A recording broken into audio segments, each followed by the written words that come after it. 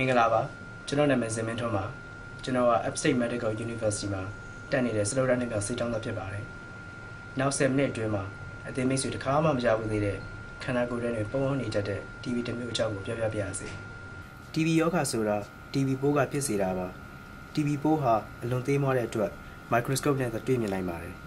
TB ပိုးဟာလူမှာရှိတဲ့အဆုပ်အပါဝင်အခြားသောအင်္ဂါများကိုပါထိခိုက်စေနိုင်ပါတယ်များသောအားဖြင့်ကျွန်တော်တို့ခန္ဓာကိုယ်က TB ပိုးကိုတိုက်ထုတ်ဖြစ်ခြင်းဒါမှမဟုတ်အဆုတ်ထဲတွင်ဝိုင်းရန်ပိတ်ဆို့ထားခြင်းဖြင့်အဲ့ဒီပိုးကိုမပြန့်နှံ့သွားအောင်တားဆီးထားပါတယ်။ဒါပေမဲ့ TB ပိုးကတော့ဆေးမတောက်မချင်းမသေးသေးပဲခန္ဓာကိုယ်ထဲတွင်ပုံအောင်နေပါသေးတယ်။ TB ဟာအလွန်ကြောက်စရာကောင်းပါတယ်။ဒုက္ခသည်အများစုဟာ TB ရောဂါထူပြောတဲ့နေရာများမှာလာကြပါတယ်။ဆင်းရဲတဲ့နိုင်ငံတွေမှာယောဂသိရှိမှုနဲ့ကုသမှုအားနည်းသည့်အတွက်ယောဂပြန်ပွားမှုကပုံမှုများပြားပါတယ်။ TB ယောဂါဟာပုံအောင်နေတဲ့အဆင့်မှာကူးဆက်စေသည့်အဆင့်ထိရောက်ပြီဆိုရင်တော့လူကိုလွန်စွာပဲမကြမ်းမပါဖြစ်စေပြီးတကယ်လို့ပေါ်ဆမြေဆိုရင် အသက်အန္တရာယ်ကိုပါထိခိုက်သွားနိုင်ပါတယ်။အမေရိကန်နဲ့ကနေဒါမှာရှိနေတဲ့ဒုက္ခသည်အများစုကတော့ TB ရောဂါနဲ့ပတ်သက်ပြီးအစမ်းသက်ခံပြီးပါပြီ။ဆင်းရဲတဲ့နိုင်ငံတွေမှာယောဂသိရှိမှုနဲ့ကုသမှုအားနည်းသည့်အတွက်ယောဂပြန်ပွားမှုကပိုမိုများပြားပါတယ်။ဒါပေမဲ့ TB ဟာကမ္ဘာအနှံ့အပြားမှာ ဖြစ်ပေါ်စေနိုင်ပါတယ်။ TB ကိုခန္ဓာကိုယ်ကျဲတွင်ပုံအောင်နေတဲ့ TB ရဲ့တကယ်ပေါ်လင်ထင်ရှားရှိတဲ့ TB ရဲ့လို့နှမျိုးခွဲခြားနိုင်ပါတယ်။ပုံအောင် TB က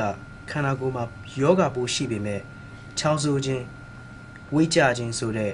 လက္ခဏာမျိုးမပြပါဘူး။အဲ့ဒီအချိန်မှာတခြားလူကိုမကူးဆက်စေနိုင်ပါဘူး။အဲ့ဒီပုံဟောင်း TB ကိုအရေးပြစမ်းသပ်နည်းဖြင့် TB ပိုးရှိမရှိသိနိုင်ပါတယ်။ ပုံဟောင်း TB မှတစ်ဆင့်ခန္ဓာကိုယ်ကိုခံအားကျဆင်းတဲ့အချိန်မှာထင်ရှားတဲ့ TV အဖြစ်သို့ပြောင်းလဲနိုင်ပါတယ်။အဲ့ဒီအချိန်ရောက်ရင်တော့မိတ်ဆွေကြားဦးတဲ့အတိုင်းအပူချိန်တက်ခြင်းညအချိန်တွင်ချွေးထွက်ခြင်းသွေးပါချောင်းဆိုးဖြစ်ခြင်းဝိတ်ကြခြင်းမောပန်းလွယ်ခြင်းဆိုတဲ့လက္ခဏာများကိုတွေ့နိုင်ပါတယ်။အဲ့ဒီအချိန်မှာ TV ပိုးဟာခန္ဓာကိုယ်အနှံ့ပြားသို့ပြန့်နှံ့သွားပါပြီ။ TV ရောဂါပိုးရှိမရှိကို အရေးပြားစမ်းသပ်နည်းဖြင့်သိနိုင်ပါတယ်။အရေးပြားစမ်းသပ်ပုံကတော့ဆီယာမကမိတ်ဆွေရဲ့အပေါ်ယံရေပြားတွင်အနှဲငယ်မြသောအရေးကြီးလေးထိုးပေးပြီးနှစ်ရက်အကြာတွင် ပြန်လာစေပြီးအပူသေးလေးဖြစ်မဖြစ်တိုင်းတာကြည့်ပါလိမ့်မယ်။အဲဒီစမ်းသပ်နည်းကလွယ်ကူပြီးဘာအင်းနေမှမရှိပါဘူး။နှစ်ရက်အကြာတွင်နေရဲနေတဲ့အကွက်လေးဖြစ်ပေါ်လာရင်တော့ဆရာဝန်ကမိတ်ဆွေကိုတေချာစမ်းသပ်စစ်ဆေးပေးပါလိမ့်မယ်။နှစ်ရက်အကြာတွင် နေရဲနေတဲ့အကွက်လေးဖြစ်ပေါ်လာရင်တော့ဆရာဝန်ကမိတ်ဆွေကိုသေချာစမ်းသပ်စစ်ဆေးပေးပါလိမ့်မယ်။ DCG လို့ခေါ်တဲ့ TB ရောဂါကာကွယ်ဆေးထိုးထားရုံဖြင့် TB ဘိုးကိုအပြီးအပိုင်မကာကွယ်နိုင်ပါဘူး။ဘာကြောင့်လဲဆိုတော့ BCG ကာကွယ်ဆေးဟာအခြားသော ပိုလီယိုကာကွယ်ဆေးများလိုဆေးရနည်းတင်မပြင်းတာကတကြောင်ကာကွယ်မှုကလည်းအလွန်ဆုံး10နှစ်15နှစ်တာမြအထိသာကာကွယ်ပေးနိုင်တာကတကြောင် ကြောင့်ဖြစ်ပါတယ်။ဒါကြောင့်သင် TB ကာကွယ်ဆေးထိုးထားရုံဖြင့် TB ပိုးကိုမကာကွယ်နိုင်ပါဘူး။အရေးပြားစမ်းသပ်မှုကထင်ရှားလို့ရှိရင် mate ဆွေနောက်ထပ်တစ်ဆင့်အနေဖြင့်ဓာတ်မှန်ရိုက်ရပါလိမ့်မယ်။ဓာတ်မှန်ကိုအရင်တော့ကရိုက်ပြီးခဲ့သည့်တိုင်အောင်အခုထပ်ရရန်လိုအပ်ပါလိမ့်မယ်။ဓာတ်မှန်ရိုက်လို့ပုံမှန်ပဲဆိုရင်တင့်မှာပုံအောင် TB ရှိနေပြီလို့ယူဆလို့ရပါတယ်။ အဲ့ဒီလိုဆိုရင်အတင်မိတ်ဆွေစေးတော့ရပါလိမ့်မယ်။ဘာကြောင့်လဲဆိုတော့အဲ့ဒီဆေးဟာ TB ပိုးကိုဖယ်ရှားပေးနိုင်ပါတယ်။ပုံအောင် TB ဟာအခုအချိန်မှာလက္ခဏာမပြပေမဲ့နောက်တစ်ချိန်တွင်ဆိုးရတဲ့ TB အဖြစ်သို့ရောက်စေနိုင်ပြီးတင့်မိသားစုနဲ့မိတ်ဆွေများကိုပါကူးစက်စေနိုင်ပါတယ်။အဲ့ဒီပိုးကိုတည်စေတဲ့ဆေးကပုံအောင်နေတဲ့ TB ပိုးစီရောက်တာ နှေးကွေးတဲ့အတွက်မိတ်ဆွေဆေးကိုအကြာကြီးစားရတာဖြစ်ပါတယ်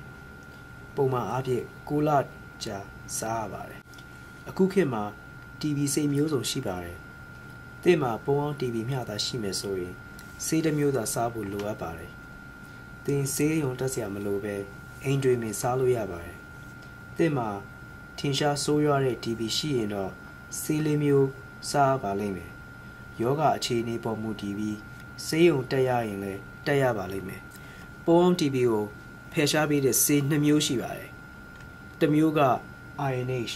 isoniazid လို့ခေါ်ပါတယ်နောက်တစ်မျိုးကတော့ rifampin လို့ခေါ်ပါတယ်အဲ့ဒီဆေးနှစ်ခုလုံးကအကြာကြီးစားရတာဖြစ်ပါတယ်ဘယ်ဆေးကိုတင်စားတင်တယ်ဆိုတာကိုတော့တင်းရဲ့ဆရာဝန်ကဆုံးဖြတ်ပေးပါလိမ့်မယ်အတင်မိတ်ဆွေ INH လို့ခေါ်တဲ့ isoniazid ဆေးကိုစားရမယ်ဆိုရင်တော့ vitamin တစ်မျိုးဖြစ်တဲ့ paradoxin ကိုလည်းစားရပါလိမ့်မယ်ဒီဆေးတွေအားလုံးဟာအသေးမိတ်ဆွေအတွက်တပြားမှမကုန်ကြပါဘူးအသေးမိတ်ဆွေဒီဆေးတွေအားလုံးကိုအချိန်ကြာကြာစားဖြစ်ဖို့သာအရေးကြီးပါတယ်အသင်ပိုးအောင်နေတဲ့ DB အတွက်ဆေးတွေစားနေတဲ့အချိန်တွင်းမှာအရက်မတောင်းမိဖို့အရေးကြီးပါတယ်ပြီးတော့တခြားဆေးတွေဖြစ်တဲ့ Tylenol, Paracetamol, Acetaminophen လို့ခေါ်တဲ့ဆေးတွေကိုလည်းမတောင်းမိဖို့အရေးကြီးပါတယ်တောက်မယ်ဆိုရင်ဆရာဝန်နဲ့အရင်တိုင်းမှာသင်စေးစားနေတဲ့အချိန်ကာလအတွင်းမှာဘယ်ဆေးခန်းဆေးရုံမဆိုသွားတိုင်း TB ဆေးဘူးကိုယူသွားပြီးတူနာပြုဆရာမကိုပြပါအလွန်အရေးကြီးတဲ့အချက်ကတော့ TB ဆေးကိုပုံမှန်စားပါ TB ဆေးကိုပုံမှန်မစားရင် TB ပိုးဟာအပြည့်ပြတ်မသေးပဲနောက်တစ်ချိန်တွင် ဆေးမတိုးပဲဖြစ်သွားပါလိမ့်မယ် TB ဆေးကိုရက်ရှည်လာများစားပြီးတဲ့အခါမှာ